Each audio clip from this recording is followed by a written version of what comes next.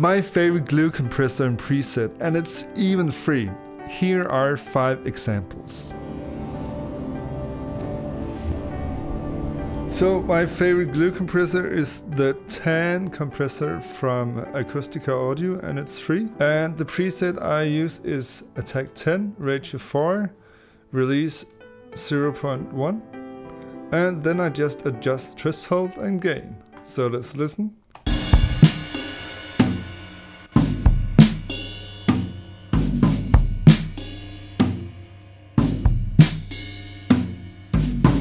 To look away.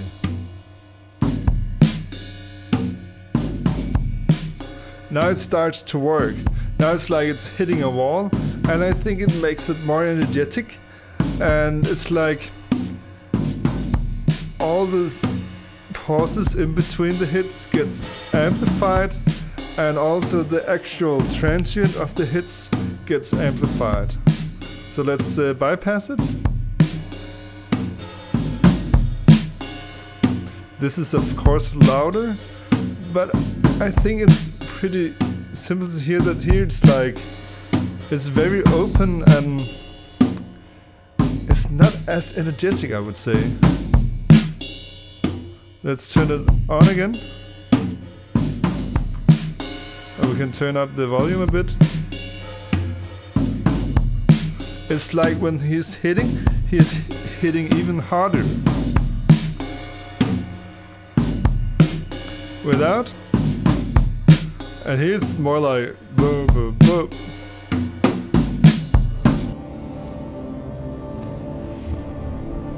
So, what is a glue compressor? I think of a glue compressor as something that glues everything together.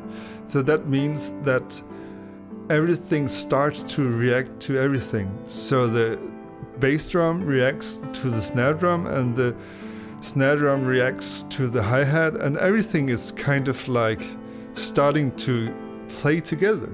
So I would also call a glue compressor a play together compressor. For me, I can use it to like make things seem more together. And I think that's why it's called a glue compressor because it glues stuff together. What I think this preset does is that it enhances the transient. So every time there's a, a kick, a hit, something it gets more snappy. And then right away it it also enhances everything in between the hits because it has a really fast release time. So it will turn down when there's a loud hit and uh, as soon as this loud hit is over then it will return to zero and in that way actually enhance everything in between so it kind of amplifies the transients and also the hits in between. That's my best way of explaining it, besides that you just listen and try it out for yourself. Let's add the Tan compressors to the master bus and adjust threshold and listen to what happens.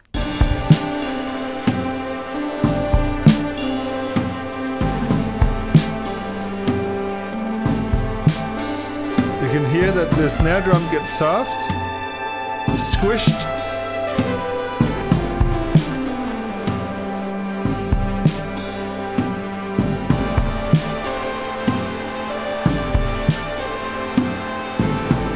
But now it sounds like it's actually like playing from the same speakers. It's like it's all trying to get out of the speaker at the same point instead of that the drums is just a bit loud. So without. And we can also just hear now that the drums are way too loud. So we can also turn the drums down a bit.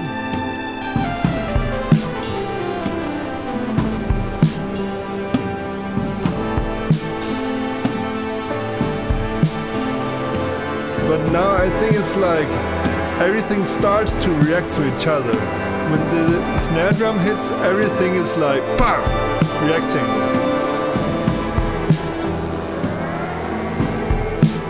But this is also very aggressive.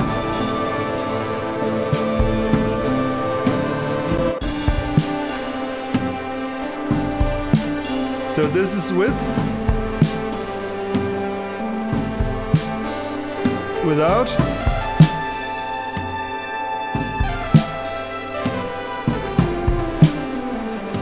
with, and this is on the master bus.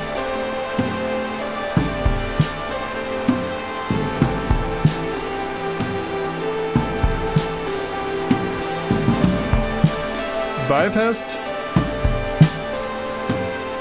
I think it just like enhances all of this energy.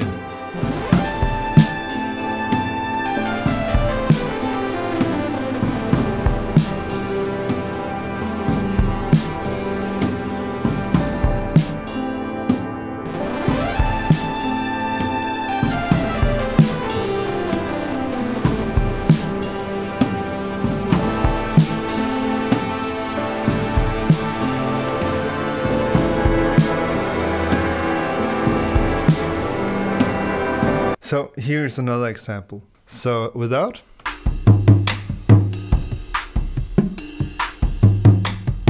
With. It just like.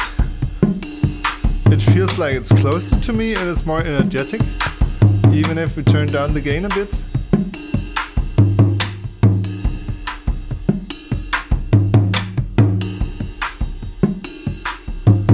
It just feels like the energy just went away. And I think you can like listen to the right and listen to how it kind of gets amplified in between the hits because the compressor turns up everything in between the hits and amplifies the transients of the hits. And in that way it's just trying to like make everything shine. Without.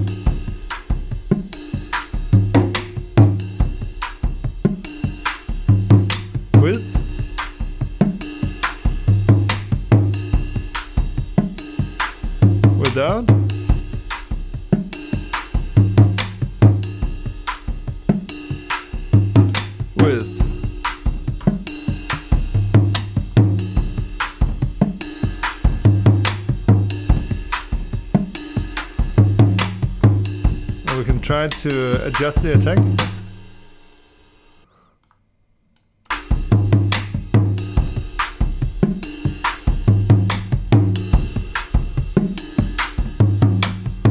I also like attack at 3.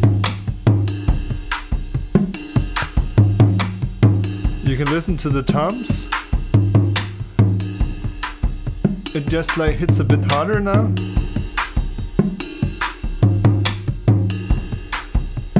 The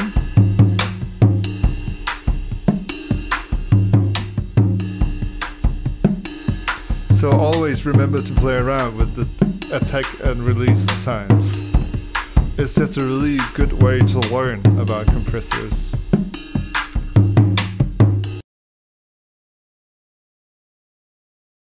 So another kind of jump, the same preset, and again I just dialed in the threshold for my liking. So without. And just it's just like it sounds like he is fighting more.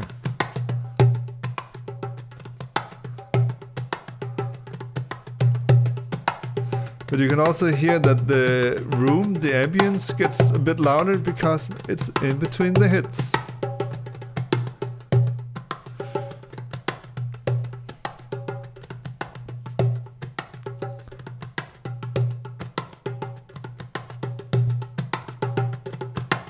So it's like when I push this button, it's like like driving a car and changing gear. It just adds this energy. And sorry for saying it so many times. It just impresses me that so little can, can do so much. It's just like he's working harder.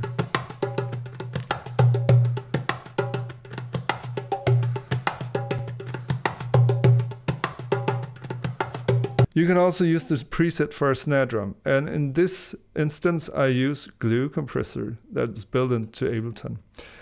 And the preset is actually a bit different in this instance because I think that the Tan attack time is like in between 10 and 30. It behaves a bit strange compared to most other compressors. But uh, let's try to listen to the difference between 10 and 30. So without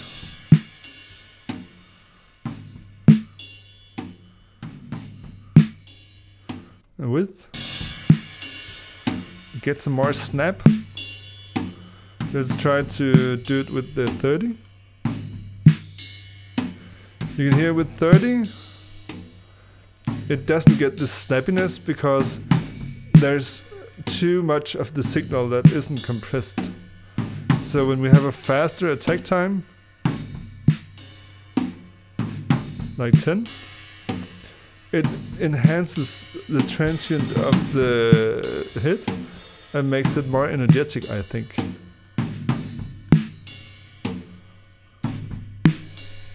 But I think I actually like three more. Now it got really snappy.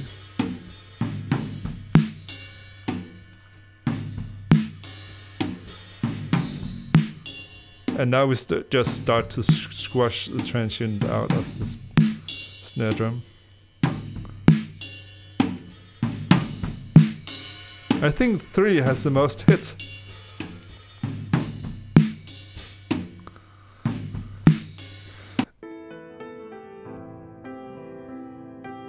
I really love the Tan compressor, it really just adds some magic. It's like it has this transformer quality that when you insert it into the loop, it just adds something. But it also adds a lot of latency, so therefore I sometimes use the built-in glue compressor because it simply just works. When I use the built-in glue compressor, I'm a bit more aware of the attack time because uh, sometimes I think it sounds best with 30, sometimes 10, and uh, sometimes 3. And it the 10 doesn't have like this golden ratio as I think the Acustica Tan 10 has. But I think it's so important to listen to what does the job for you. For me, 3 adds even more snappiness. 10 makes it snappy but in a natural way. And 30 is also a really natural way of enhancing the transient and make it a bit more snappy. It's all about how aggressive you use the compressor, but I think it's really easy to actually sit down and listen to the different attack times 3, 10 and 30 and just like listen to how snappy, how much energy the compressor adds, and learn something. If you like this video, then please hit the thumbs up button and consider to subscribe to my channel. It would truly make me happy. Enjoy!